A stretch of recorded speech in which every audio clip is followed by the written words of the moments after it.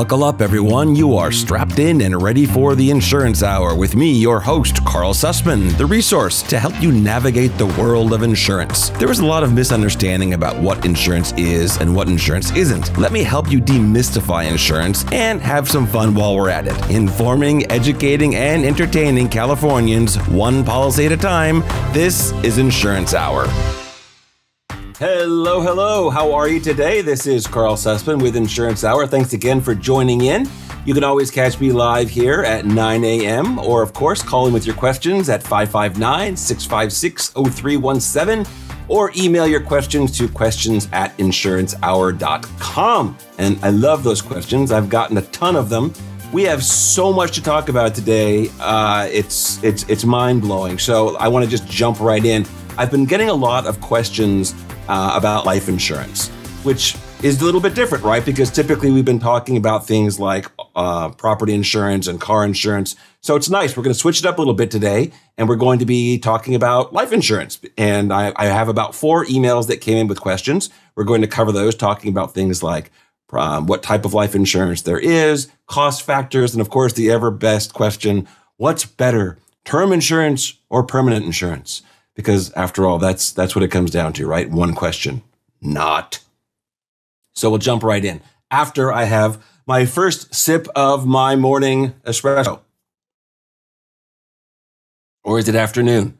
I don't know. I'm drinking it all the time, so it doesn't really seem to matter if it's morning or or afternoon. I'm drinking it. All right. So I think before we do anything, let's talk one. Let's get the basic for life insurance. Okay, life insurance is one of the. It's the one type of insurance that you buy. Uh, oh, actually, uh, we just have a call come in. So much for answering the big questions on life insurance. Let's bring Logan in and see what he's got for us. How you doing, Logan? Karl here.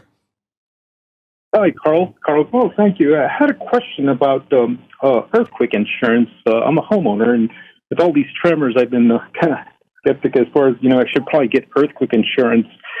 Uh, now, uh, what would be a good company you would recommend to go with? Yeah, you know, earthquake insurance is one of those things that always it always surprises me. You, you might be interested to know that um, the lenders cannot mandate that you purchase earthquake insurance, but they can mandate that you purchase fire insurance, which makes sense, right? You should have to protect their collateral by having insurance. But I've always been surprised that they can't mandate earthquake insurance because, especially in states like California, where let's face it, we have earthquakes. Actually, in the last couple of weeks, we've had some significant tremors that have been happening. Um, I, there was a, a, three, a 3.5, a 4.0. I mean, just probably, I would say in the last two weeks, there have been at least five or six earthquakes that are over 3.5. So it's always been a bit of a puzzle to me why people don't purchase uh, earthquake insurance because we have earthquakes. There's no question. I think part of it might be because people are still thinking, you know, old school. They're thinking, oh, I've heard it's expensive, or oh, I've heard the deductibles are big, or oh, I heard there's no choices. So uh, I, I, my, my opinion on earthquake insurance is you, you want to have it if you're in an area where there's earthquakes. And like I said, California is a, is a no brainer to get them. No, great, great. Uh, uh, I've been looking online for a couple of companies to go with. Uh, is there anyone you would recommend uh, to to purchase earthquake with? Well, yeah. Tell, I'm, I'm interested to hear what you're finding searching, and, and I'll give you some feedback. What are you finding when you're looking online for options? Well, the main thing I see online is uh, the, the the California Earthquake Authority. Mm-hmm. Um, but uh, also, I know it mentions in there that there's maybe a private sector I can look into. Right. Uh, the California Earthquake Authority is, is, is an association that has some money infused from some admitted insurance companies, and they ha- they have what's called more of a mini policy right now. So it's it's fairly limited coverage. Uh, it's pract- it's basically for the structure only. Uh, there are private companies like GeoVera, for example, I know of is is probably the the 800 pound gorilla.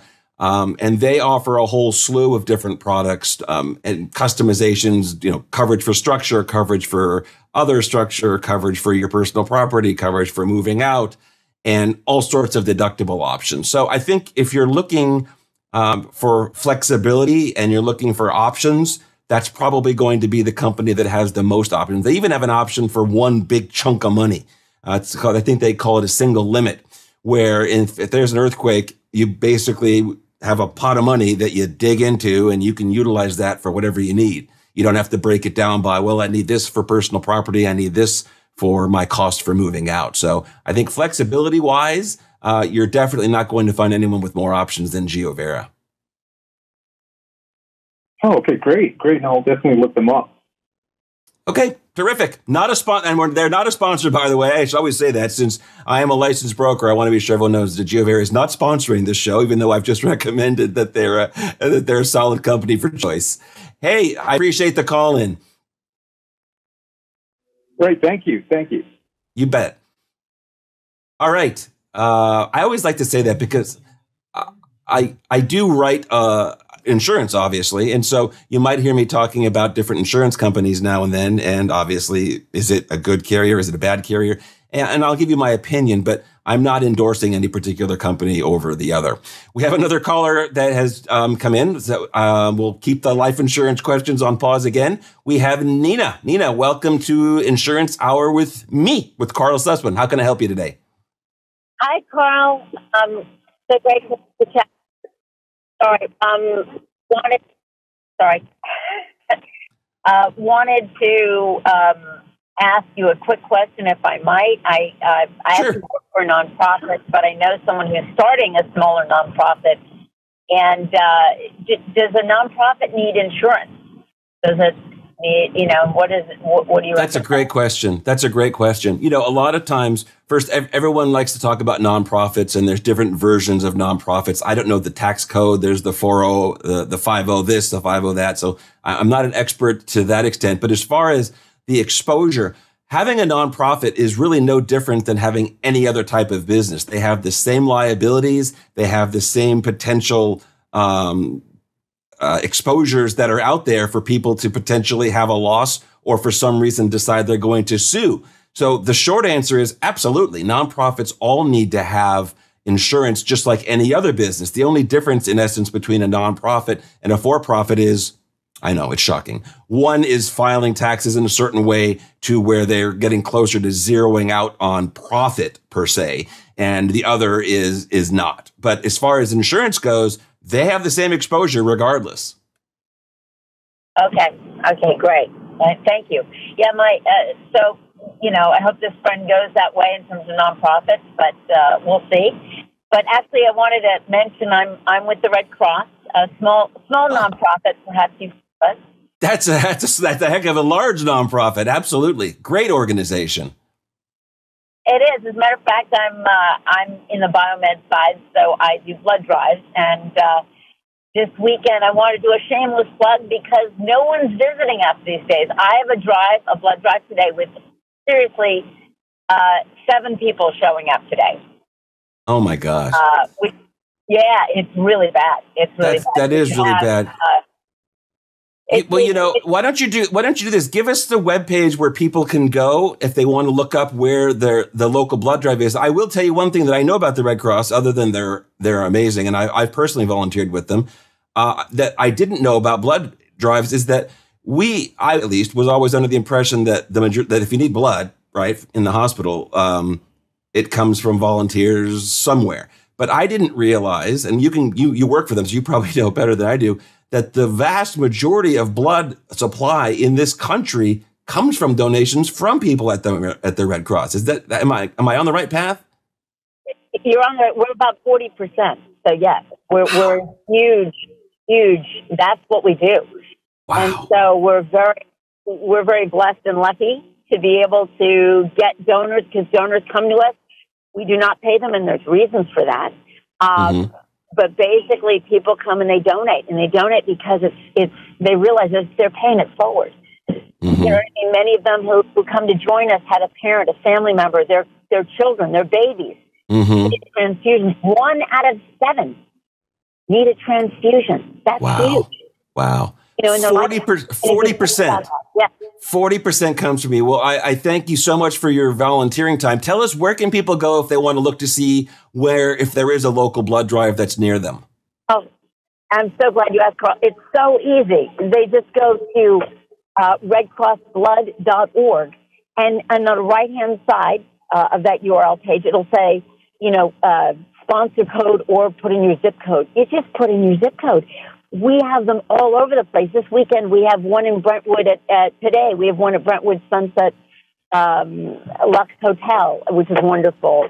Um, we're there till two today. This weekend we have Brentwood Presbyterian on Sunday. We have uh, a wonderful place at the Santa Monica Business Park. We are all over the place.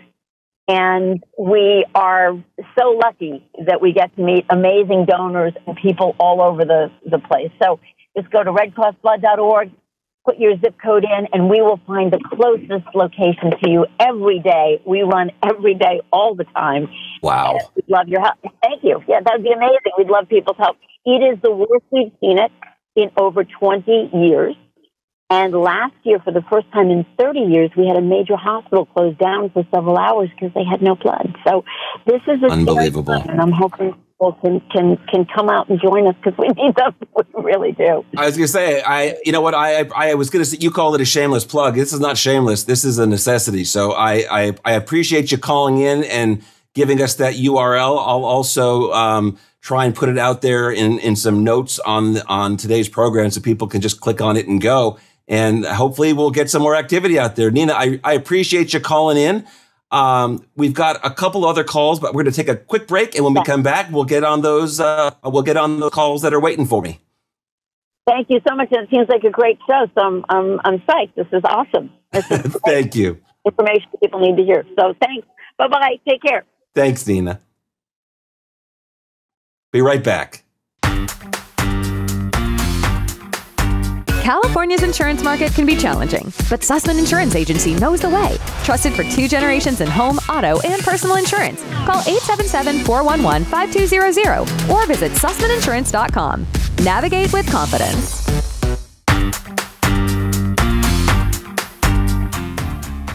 Hello, hello. I am back. Thank you, thank you for your time today. We've had some great callers, callers, and we've got another one on uh, hold right now. Let us bring her in. Uh, you are alive with Karl with the Insurance Hour. How can I help you this morning?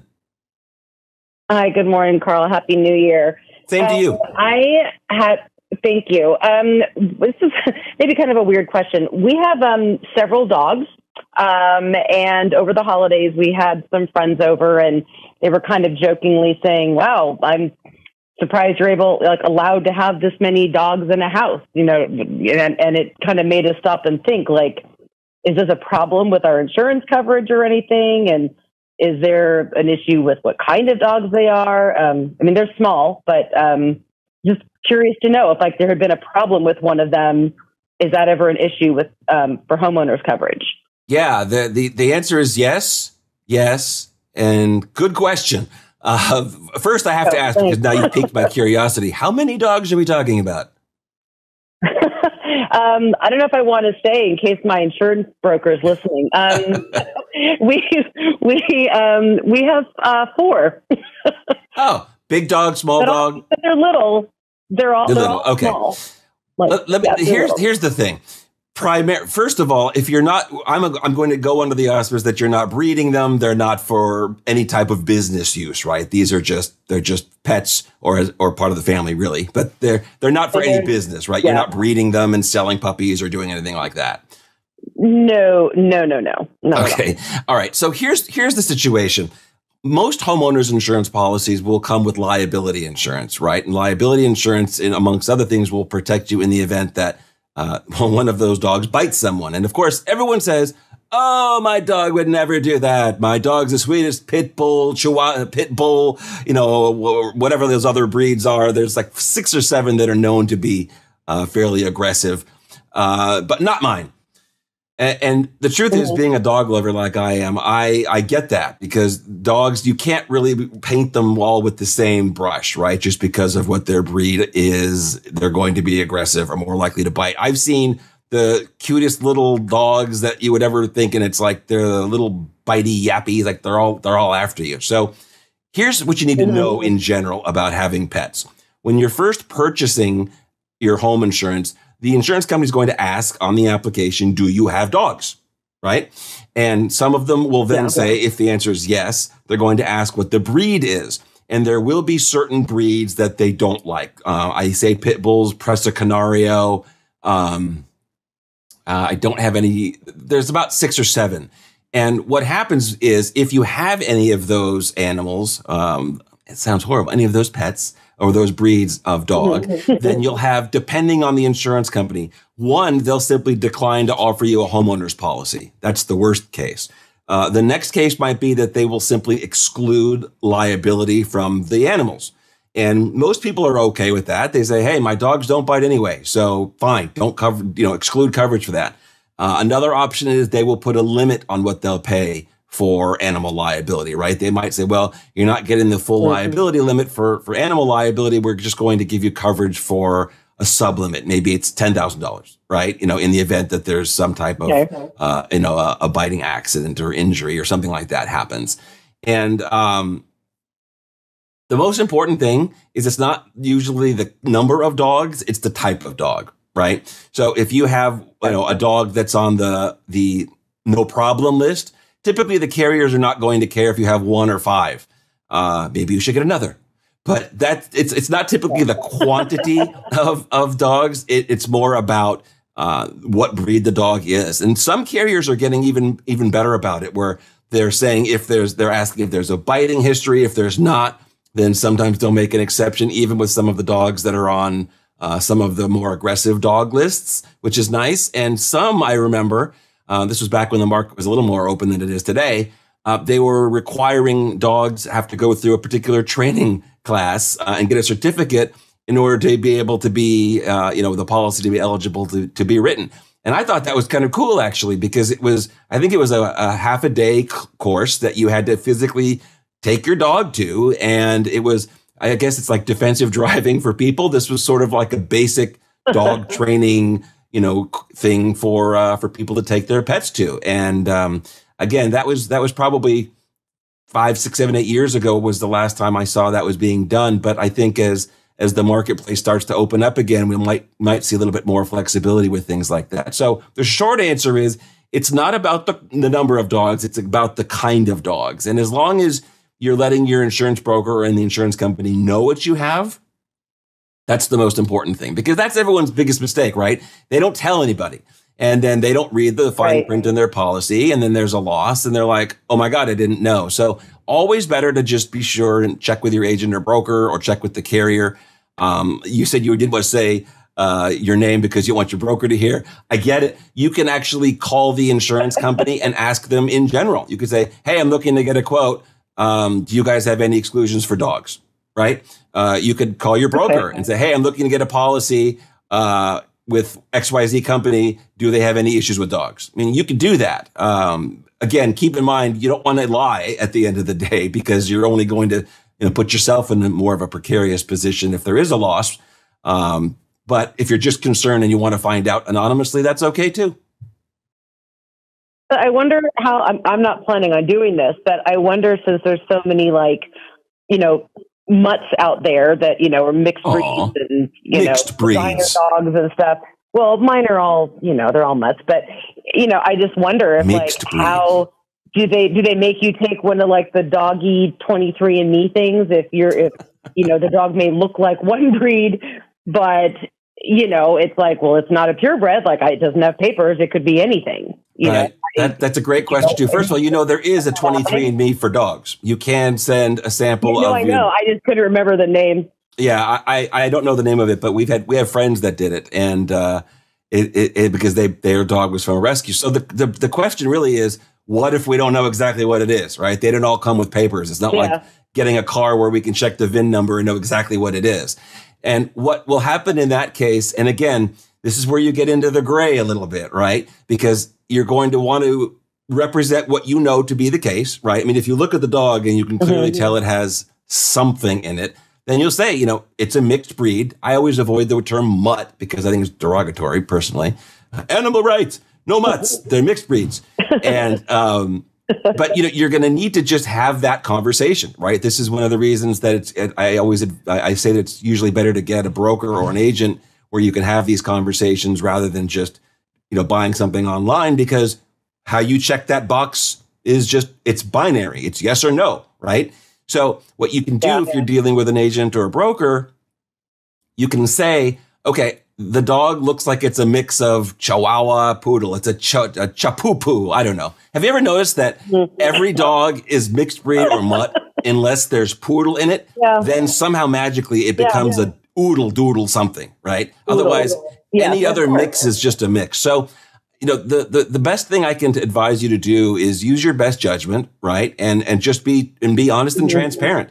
Uh, if if the dog appears to be one breed, you know, predominantly, then okay, that's fine. If you know, if you look at it and you say, hmm, you know, this dog clearly is a Chihuahua, right, or or a German Shepherd or mm-hmm. whatever, then then go with that. Keep in mind, this goes back to my one of my favorite mantras: is you never want to give an insurance company a good excuse to not pay a claim.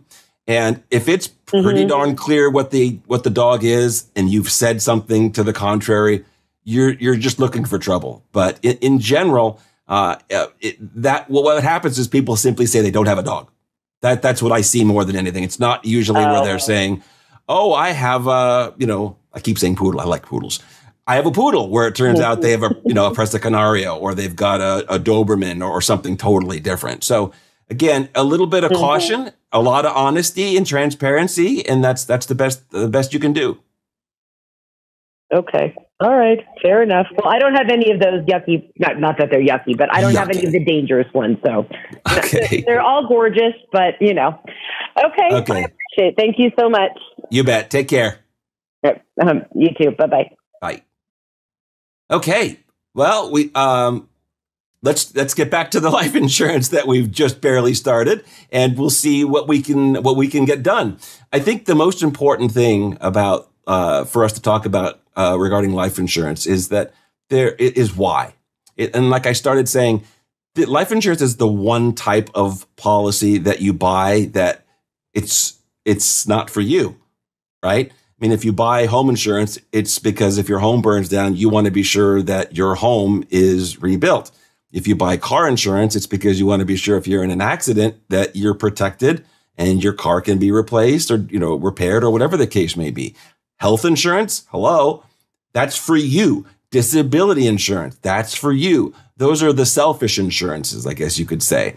Life insurance is is the one type of insurance that for the most part you're purchasing for somebody else. Now there's exceptions to this and we can talk a little bit more in detail about living benefits they're called of life insurance policies and there are some. However, I want you to be aware that for for the majority of of why you're purchasing life insurance, it's going to be for somebody or something else, right? That's just the reality of it. So let's go over just a couple of the reasons that you would get life insurance because I think that's the most the most fundamental thing other than just well, if I die they pay money. Okay. Yeah, that's true. But there's more to it than that. So Think about the first, the most common reason buy that people will purchase life insurance is to protect their income for their family, right? If something happens and they're the primary or even the secondary breadwinner, hey, if they're working and their income is in some way supporting the household, then life insurance is a great way to be sure that they actually have some money coming in, even when that person is no longer able to generate income because they're no longer with us. So that's probably one of the main reasons people think about life insurance, and it's a completely legitimate reason. Another is, is to deal with final expense costs. You know, uh, final expense costs are expensive. Uh, it, it's not like if if somebody passes away um, mysteriously, it, all all the work that needs to be done gets paid for. It doesn't. It's it's not inexpensive. So sometimes people will purchase a small policy that will cover those final expenses. Uh, other reasons include things like paying off debt. You don't want to leave your family with credit card debt. So there'll be, you can buy a policy that'll pay and they can use it for that. You could talk about just building inheritance for your family. You want them to have a higher standard of living than you do. You could want to have it for estate tax purposes. Uh, you could have it for charitable contributions. We had a nonprofit call in earlier. What if you wanted to leave a million dollars to the the American Red Cross. You could do that. All of that's possible.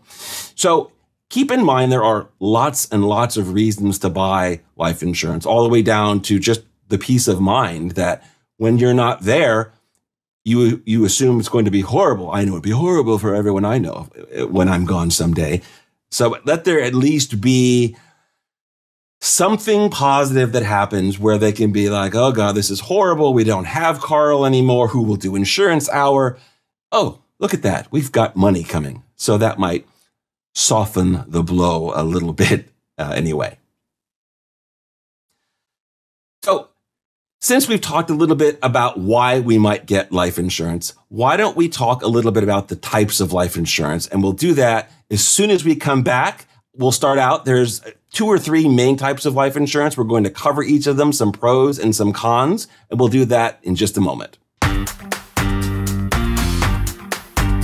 Facing the maze of California's insurance market? Let Susman Insurance Agency be your ally. Expertise in all personal insurance needs for over two generations. Call 877 411 5200 or visit SusmanInsurance.com. Together, we can do this.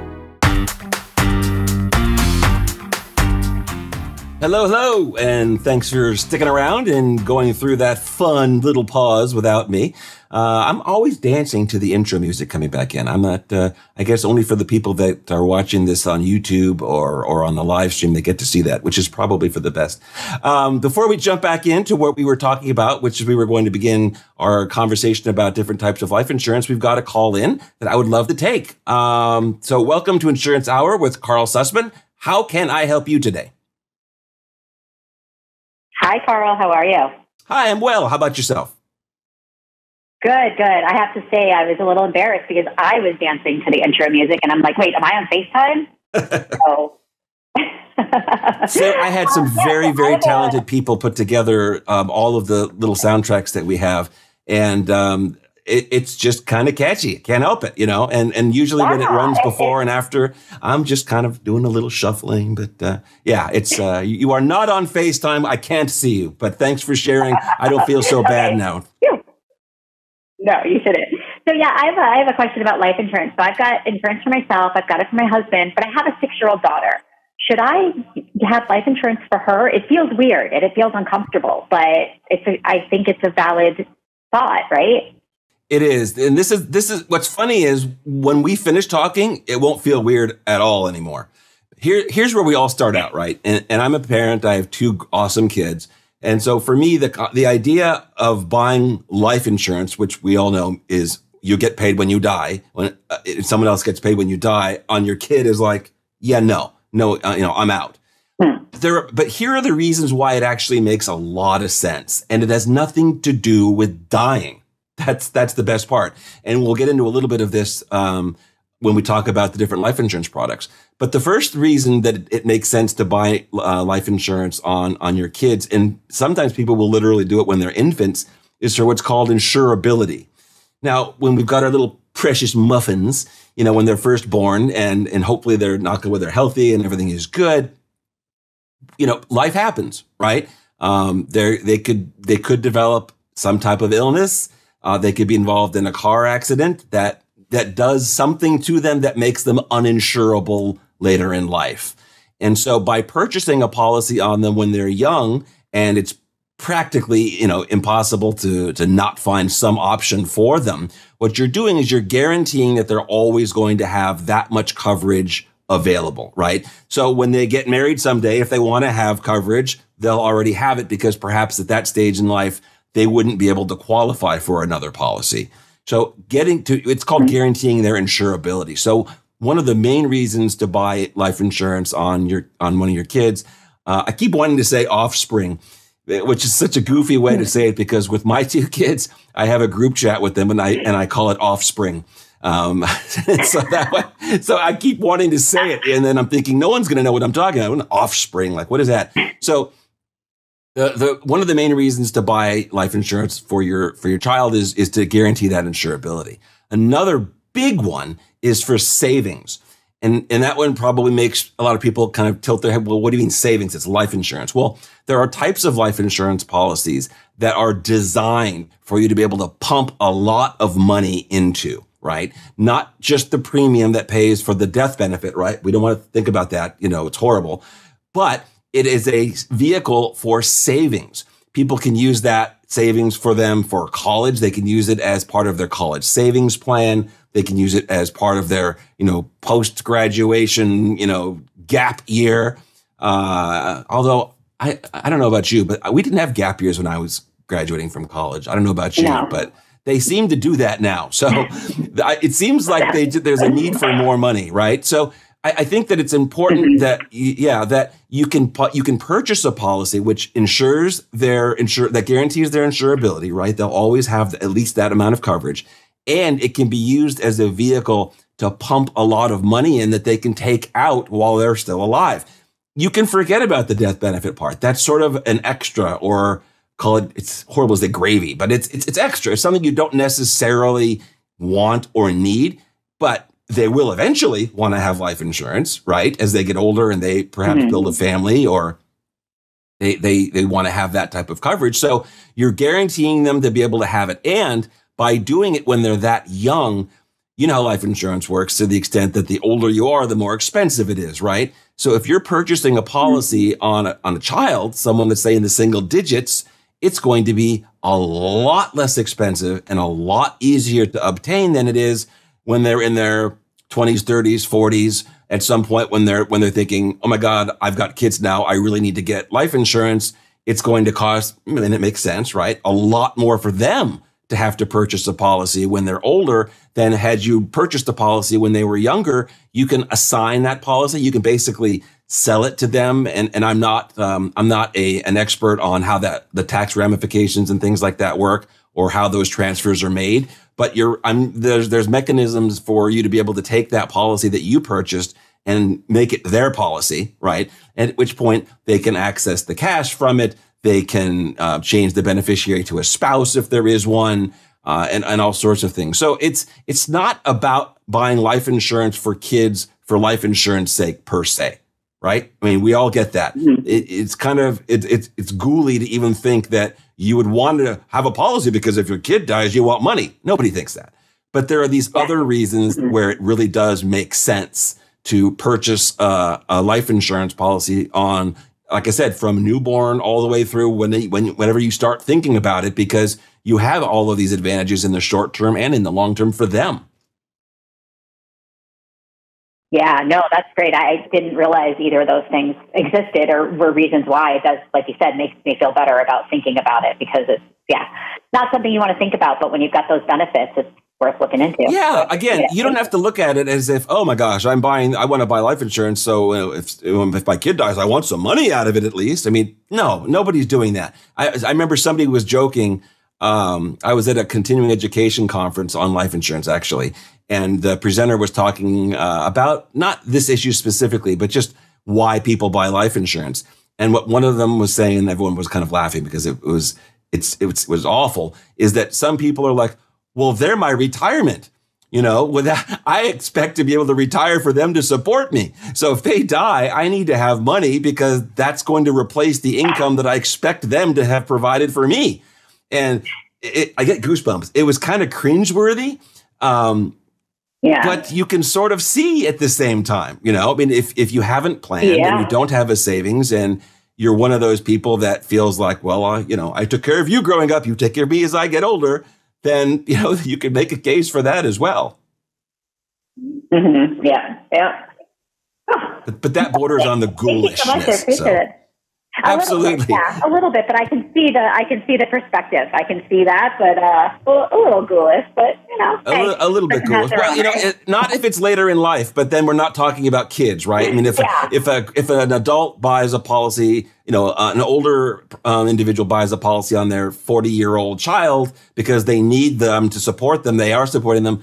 Totally different feel at that point, right? But for someone to do oh, that yeah. when their kid yeah. is five or six that's uh, that's the long game, man. You know, that's not the way I want to be planning to my retirement based on being sure my kids support me. But uh, uh, it, it, it's a great question, and you should definitely look into it. There are a handful of of companies that actually specialize in life insurance for children, uh, and you can find them online. There's a handful of really good ones. Uh, I would not go with just a generic company, you know, that you would get a policy for you or me. Um, look for something specifically tailored for kids. There are actually life insurance policies that are um, designed specifically to be college savings accounts, right? Uh, they don't take the place of a 529 plan, which you definitely want to fund. but it's another, in, you know, another aspect that you'd be able to to utilize it for. But I guess the point is there are specific products to do some of the things that we've talked about. Great, thank you. I'll have to take a look. Okay, terrific. Thanks so much for calling. Yeah, thanks. All right. Yeah, you know, it, it's life insurance on kids. It, it, it's uh, it's a tough one. It just is because again, when we think about life insurance, what are we thinking about? We're thinking about the kid not being around, which is un- unimaginable, uh, just totally unimaginable. So, uh, I, I, was just going to get us back to our conversation, but we have another call in that I'd love to take first. Uh, Javon, thanks for calling in. You're on with Karl Susman and the Insurance Hour. How can I help you today? How you doing, Mr. Susman? I want to ask you a question about life insurance. So, I have a, will, a, a living will with my lawyer. So I was wondering if I die, do I need life insurance, or would that cover my son with the living will? So, if I understand, so you have a will that's that's set up to handle your assets and and uh, right. I, and presumably it's going to be directed to your child. Yes. Okay. So do so I need what, life insurance to cover me on top of that, or? Well, it depends on your on, on your personal, you know, desires. You know, the the will, you know, the way you're describing it is basically going to say, okay, my son gets my everything, right? My car, my house, my bank accounts, what, whatever you might have is being left. You know, a will is a, a very generic um, type of uh, document to transfer to basically tell the, the the courts that and the government that we want to move these assets from me to them. Uh, and there's tax ramifications and all sorts of other implications. What life insurance would do is simply give you more asset to pass down to your child. So if you're saying to yourself, you know what, uh, I don't have a ton of money. Uh, I've got, I'm, you know, I, I'm not in a bad place, but I would love for my kid to have more, right? Starting out than less. Then sure, you buy a life insurance policy and you have it so that when, uh, when the time comes and you're not around, the the will will just will dictate that um, the money that comes from that life insurance policy also goes to your child. So you're basically utilizing life insurance as a tool to be able to increase what you have to leave to your child. Wow, okay. And also with the life insurance, is there certain um, amounts you pay per month for increase? Or can you, you know, it depends on the type of policy you purchase. Uh, you can purchase mm-hmm. policies um, that have a fixed premium uh, for a period of time, meaning that the price that you pay every month doesn't change. Uh, all the way to yeah. you, there are policies that you can pay uh, that may increase every few years or may not. There are even policies that you can pay with a single premium if you want. Uh, it just depends. Anything and everything in between. The, the best thing to do uh, is check with the, a, a good broker that has access to a lot of different life insurance companies and just tell them, say, hey, look, I want to leave money to my kid. Uh, this is my budget.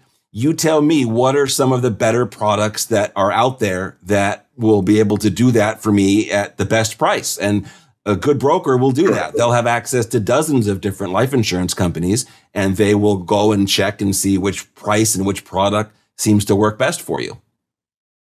Well, it's better to have life insurance also for when you get buried, right? Right, right. We talked about, yeah, I, I, just mentioned final expenses. Yeah, I mean, it's not cheap. It's not cheap, you know, whether, you know, depending on what people decide they want to have done, whether they want burial or cremation or, or whatever the case may be, uh, it's not inexpensive, right? We, we're talking, I don't think you can get away with anything under a you know, a couple thousand dollars, depending on where you are. And, and it goes just skyrockets from there. So, yeah, I mean, there are policies that are designed specifically for that. They're called final expense policies, and they tend to be the least expensive. Uh, and they're a fixed amount, and they are a fixed amount meaning a fixed death benefit, right? It might be ten thousand dollars, and it'll be ten thousand dollars, you know, from the beginning to the end, and the premium will be the gotcha. same from the beginning to the end. So, if you're concerned or you're thinking you want to be sure that you have a policy that's going to cover a specific final expense, then they actually have products designed to do just that. So then, you know, you go to a broker and you say, Hey, I'm looking to get a policy to cover my final expense, you know, my burial, my cremation, my, you know, uh, sometimes people want to throw a party.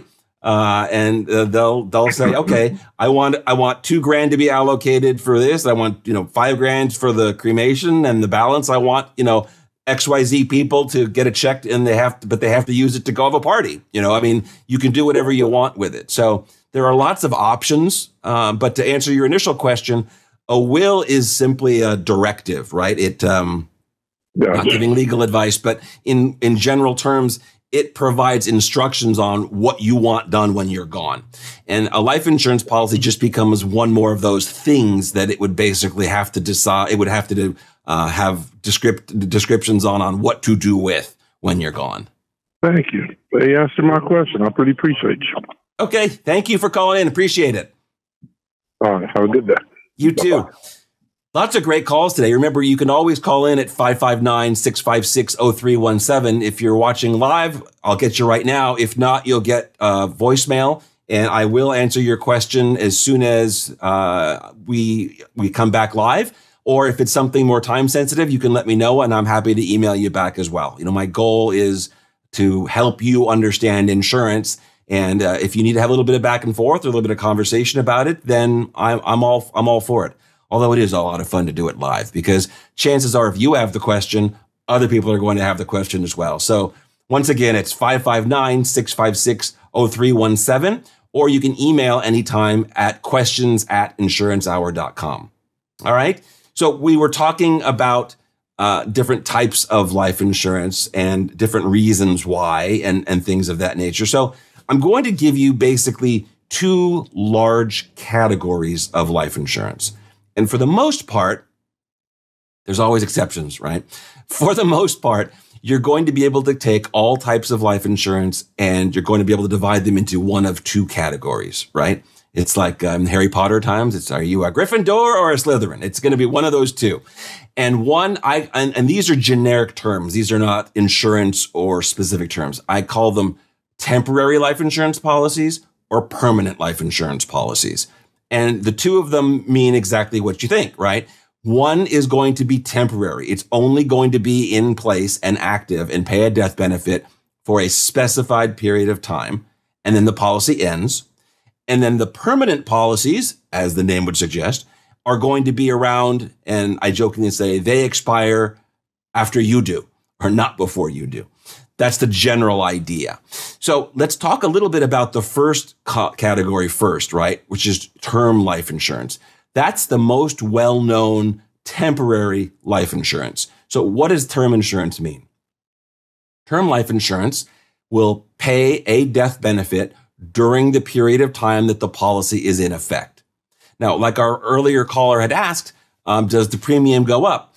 With term insurance, the whole point of the policy is you pick a period of time 10 years, 20 years, 30 years, and you say, I want to have this much of a death benefit for that period of time. What's it going to cost me? And then all of the different insurance companies have their own product, and you'll pick and choose depending on a number of factors, and you'll be given a premium. And the premium will not change during that period of time, and the death benefit will not change during that period of time, and you will have that policy. So term insurance is there for a finite, very specific period of time. The death benefit doesn't increase. The death benefit doesn't decrease. The premium doesn't increase. The premium doesn't decrease. So it's again, very fixed, very rigid, not a lot of options. The main question that I get about term insurance is, okay, so I've been paying this for 30 years and I haven't died as if they're upset, but what happens to all my money at the end of the 30 years? And the answer is it's gone, right? I mean, you haven't used the policy, but you've had the coverage and you've paid for it while you had it. Sometimes people will refer to it as renting, right? You're renting life insurance. As long as you pay the rent, you're able to stay there, but you don't own the place, right? You don't have anything. You stop paying the rent, you're out of there. So term insurance is basically pay to play. While you're paying, you have coverage. If you stop paying, coverage stops. Now, there is one, there's always exceptions in insurance. Have I, have I said that today? Probably not. I don't say it enough. There are no absolutes. So with term insurance, there are policies that are called ROP term policies, which stands for return of premium policies. Very clever. Insurance companies are very clever with their names. ROP term insurance. So, and it does exactly what you would think. It will take all of the money that you've paid in over that term at the end of the term and it will give it back to you. Sounds pretty cool. Why wouldn't everybody do that? Well, as you can imagine, the cost for buying a straight term policy is significantly less than buying a policy that's a return of premium at the end of the term. And that makes sense, right? In one way, the insurance company only has an exposure in the event you die during the term. With the return of premium policy, they know they either have to pay a death benefit if you die, or they have to be prepared to pay all of that premium back to you at the end of the term. What's the difference in price? It varies, but in general, you could be looking at a 20 to 30% increase in premium. So it's not trivial. It's, it's a significant amount of money that you're paying to be able to have that money come back. And then, of course, you get into the whole financial argument. Well, with the difference between that money, couldn't I make more money somewhere else? All of that. Sometimes people will buy return of premium term insurance because it's just, it's simple, right? They're like, okay, you know what? This is just one more thing I know that at the end of the day, uh, in 20 years and 30 years, I know I'm going to get a check for X number of dollars. Cool. You know, and they're paying for life insurance and, and they don't want to get into the permanent life insurance and all of the, uh, the, the different options that come with that. So those are the two main types of term insurance. Um, I didn't mention annual renewable term, which is, as it suggests, every year the premium goes up. Basically, what the insurance company is doing is they're looking at your age, they're figuring out actuarially your likelihood of dying, they have a premium, and you're paying for it. It's not very common for people to buy those policies. Yes, they are the least expensive term policy, which makes sense because the insurance company can change the premium every single year as you get older. It's usually for a very specific reason. Maybe somebody has a loan and the loan is for a year and the person loaning the money says, you know what? I want life insurance. What if you kick the bucket while I'm gone? Yeah, while, while you still owe me the money. I want to have that money. So that's, that's not used very often, but you should know it exists. The other type of insurance, and we're going to get just, we're not even going to scratch the surface. We're going to point at the surface because there's so much that you could get into with permanent life insurance policies. I'm just going to tell you about four primary types of permanent life insurance. The first one, and you've probably heard it before, is whole life insurance. The second kind is universal life insurance.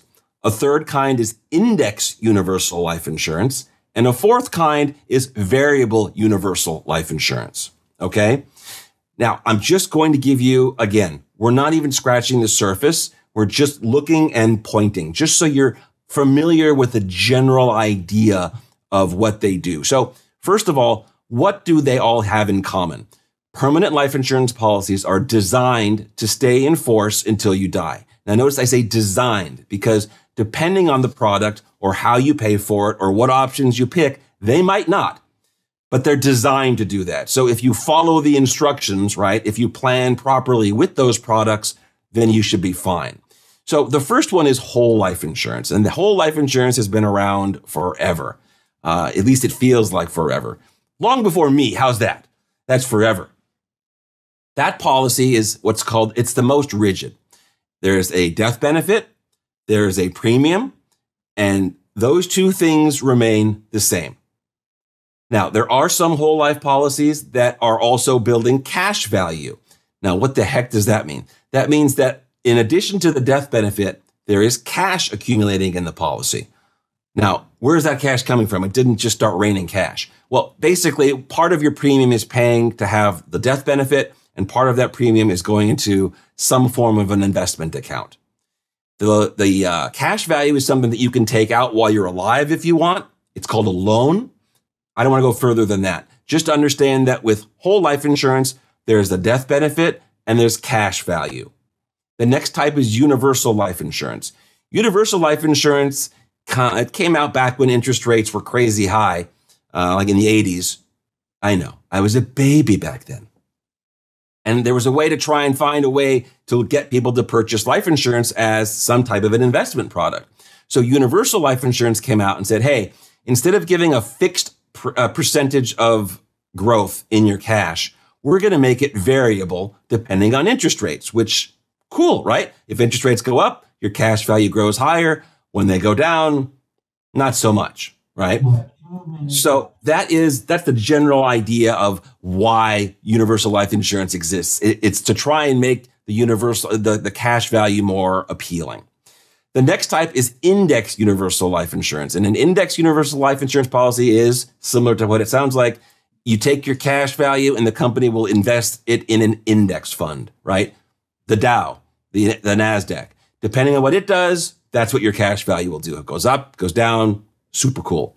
And finally, there's variable universal life insurance, which does the same idea as index universal life insurance, except instead of investing in an index, it will invest in stocks, right? It will invest in mutual funds. It will invest in different financial investment instruments. So those are the main categories of permanent life insurance. There are so many options and they are and they are so I say complicated, but they can be. It's very important that you find someone that really understands how this works, right? And has access to lots of companies and has the ability to really sit down and explain these things to you because this is not like buying car insurance where every six months you can just decide to change it. If you make a commitment to a permanent life insurance policy, that's a commitment, right? And you're probably going to have that for a long, long time. So you want to choose wisely. So that is about all the time we have for today. And hopefully you learned a little bit about life insurance or a lot. Uh, feel free to reach out anytime if you have questions. Again, 559 656 0317 or questions at insurancehour.com. Thank you so much. Again, we'll see you next week. I do want to thank all of you for taking the time to listen today. I know insurance is not necessarily the most sexy concept, it's not the most exciting thing in the world. It is important that you understand what it is you're getting, what you should be looking for, red flags, you name it. You just need to know more than you used to. Things are more complicated than they used to be. If you have any questions, please reach out to me directly. You can email your questions to questions at insurancehour.com or call and leave a voicemail at 559 656 0317. Educating and entertaining Californians one insurance policy at a time. This is Insurance Hour. This show is dedicated to Shamrock Papa.